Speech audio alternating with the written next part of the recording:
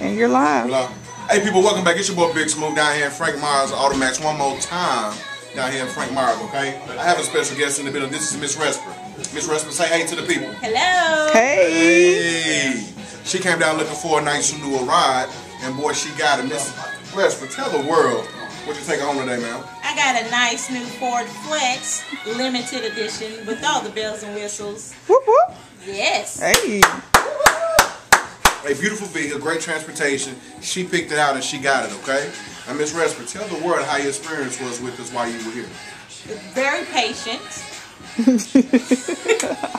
Very patient, but great people. I got the car that I wanted, and they were persistent at getting it for me. Hey, you heard of people. If you want to be a, have a patient experience, come down to Frank Myers, see Big Smooth. The same will happen for you. Okay, now the count of three, we can welcome her to the family.